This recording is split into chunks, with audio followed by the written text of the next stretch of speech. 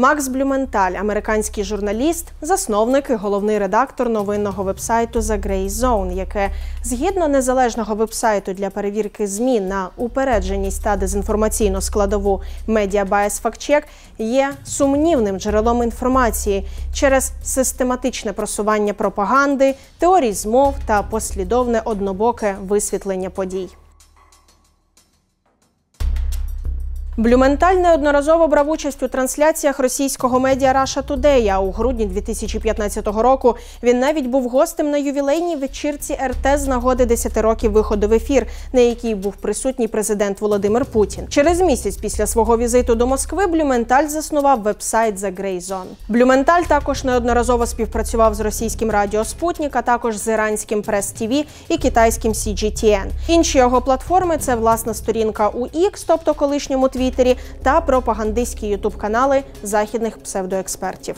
Далі розглянемо найпоширеніші та найбільш одіозні тези Блюменталя на заході. 18 березня 2022 року у виданні The Grey Zone Макс Блюменталь пише статтю про те, як і чому так званий нацистський батальйон Азов, начебто, підірвав драматичний театр у Маріуполі. При ближчому розгляді стає зрозуміло, що місцеві жителі Маріуполя за три дні до інциденту 16 березня попереджали, що театр стане місцем атаки під фальшивим прапором відверто неонацистського батальйону Азов, який контролював будівлю та територію навколо неї. Цивільні жителі, які втекли з міста через гуманітарні коридори, свідчать, що Азов їх утримував як живий щит у цьому районі і що бійці Азову підірвали частини театру під час відступу, незважаючи на заяви про масований російський авіаудар, який перетворив будівлю на попіл, всі мирні жителі, здається, врятувалися. Такі свідчення очевидців насправді нічого не доводять, адже подібні висновки можливі лише завдяки міжнародним незалежним розслідуванням, позбавлених суб'єктивної та емоційної складової. Однак далі він продовжує.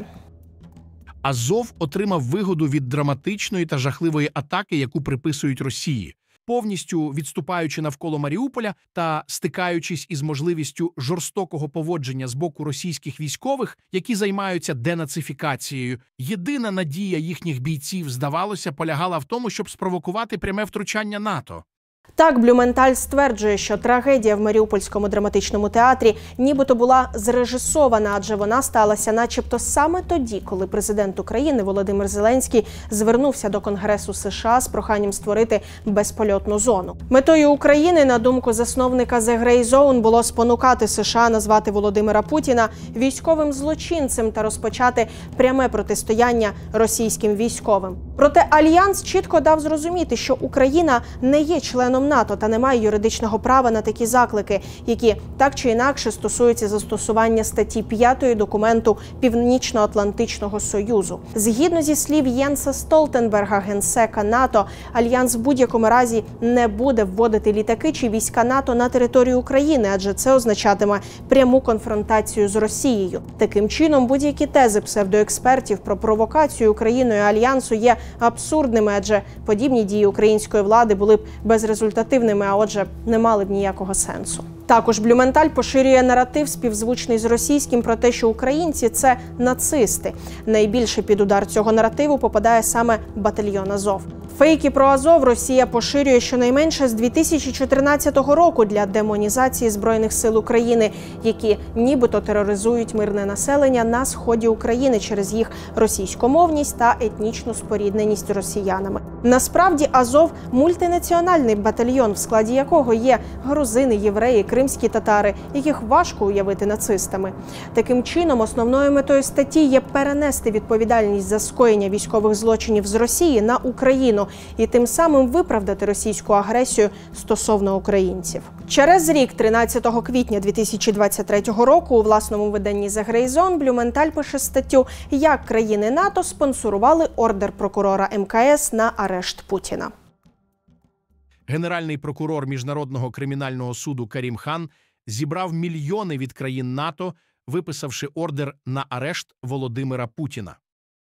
Як повідомляла The Grey Zone, Ордер МКС був виданий на підставі звіту, який фінансувався Державним департаментом США і не містив жодних польових звітів, жодних конкретних доказів воєнних злочинів і жодних доказів того, що Росія справді націлилася на українську молодь, проводячи масову кампанію депортації. Насправді слідчі визнали, що не знайшли жодної документації про жорстоке поводження з дітьми, включаючи сексуальне або фізичне насильство у таборах, згаданих у цьому звіті. Більше того, провідний автор розслідування розповів Джеремі Лофредо із The Grey Zone, що велика кількість російських молодіжних таборів, які досліджувала його команда, були насамперед культурно-просвітницькими, як я б сказав, плюшеві ведмедики. Насправді результати розслідування та покази свідків є таємницею слідства та не можуть бути виставлені на загал з міркувань безпеки. А їхнє розкриття провідним автором розслідування одному з журналістів, який поширює наративи співзвучні з російськими та працює у виданні з низьким рейтингом довіри, є малоймовірним. Нагадуємо, депортація українських дітей Росією є беззаперечним фактом, визнаним парламентською асамблеєю Ради Європи як геноцид населення України та була категорично засуджена більшістю цивілізованих країн. 29 червня 2023 року Росія запрошує американського журналіста Макса Блюменталя для участі на брифінгу Ради безпеки ООН. Під час свого виступу Блюменталь заявляє, що заперечує той факт, що Україна є демократичною країною. Нам розповідали про те, що Україна фактично бореться за свободу і демократію, і всі, хто проти військової допомоги Україні проти захисту демократії, згідно цієї логіки.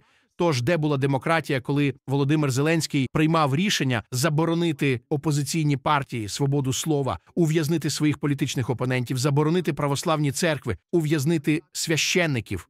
Насправді Україна має багатопартійну систему. Станом на 1 січня 2022 року в Україні було зареєстровано 370 партій, із них заборонені 18. Але під заборону потрапили проросійські партії, діяльність яких сприяла окупаційним діям ворога. Інші ж партії, такі як Європейська Солідарність, Батьківщина та інші, спокійно функціонують та є опозиційними. Заборона православної церкви та ув'язнення священиків є теж пропагандистським вкидом вкидом, адже за рішенням РНБО припинити свою діяльність мають лише православні церкви Московського патріархату, що підпорядковуються Москві та патріарху Кирилу, який благословляє російську армію на злочинні дії на території України. Що ж до заборони свободи слова, то згідно рейтингу репортерів без кордонів Україна посідає 79-те місце, а Росія 164-те. Таким чином, метою подібного висловлювання є спонукати захід припинити військову військову допомогу Україні, яка нібито не має спільних цінностей з країнами-союзницями, а тому не заслуговує підтримку з їхнього боку. Ще одним аргументом Блюменталя щодо припинення військової допомоги Україні є те, що війна Російської Федерації проти України необхідна лише американським компаніям з виготовлення зброї. Військові кладовища в Україні розширюються майже так само швидко, як особняки Північній Вірджинії та пляжні маєтки керівників Lockheed Martin, Raytheon та різноманітних підрядників з Белтвею, які отримують вигоду від другого за величиною рівня військових витрат з часів Другої світової війни. Це справжні переможці проксі війни в Україні, а не звичайні українці, американці або росіяни або європейці, якщо на те пішло. Насправді, проксі війна це конфлікт, в якому одна або обидві сторони представляють інтереси потужніших гравців. Таким чином, американський журналіст натякає на маріонетковість України, долю якої нібито вирішують штати, та стверджує, що якщо США та Європа зупинять постачання зброї Україні, війна закінчиться, адже американські компанії, нібито не будуть більше отримувати прибуток від продажу військової техніки та зброї, внаслідок чого сенс продовжувати так звану звану проксі війну зникне і настане мир. Насправді ж. Кожний українець знає, що у разі припинення допомоги від союзників зникне не війна, а Україна. А мир настане лише після перемоги збройних сил України та повернення захоплених територій. Також Блюменталь у своїй промові наголосив про використання Україною військової допомоги заходу задля нібито нанесення шкоди мирному населенню. Я тут з моїм другом, журналістом, захисником громадянських прав Ренді Кредіко, який зовсім нещодавно був у Донецьку та став свідком регулярних атак РСЗВ Хаймарс на цивільні цілі. Я тут не тільки як журналіст, який присвятив понад 20 років написанню книжок, знімав документальні фільми і писав статті про конфлікти та політику на кількох континентах. Я тут як американський платник податків, якого втягнули у фінансування проксі війни, яка є загрозою регіональній та міжнародній стабільності. Журналіст посилається на свого товариша Ренді Кредіко, американського радіоведучого, якого важко назвати неупередженим. Він, як і Блюменталь, систематично поширює наративи співзвучні з російськими в інтерв'ю з псевдоекспертами, зокрема і виданню Грейзо.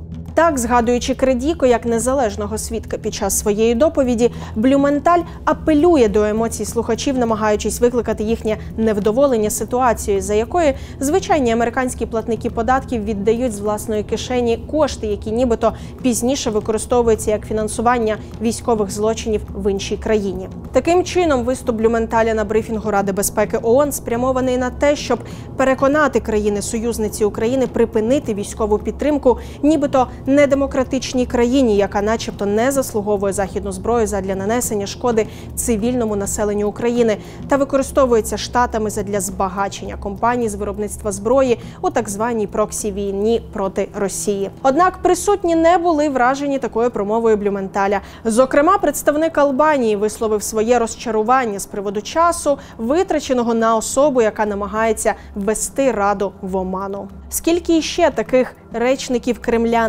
заході, для яких відкриті навіть великі міжнародні платформи, будемо розповідати у наступних відео.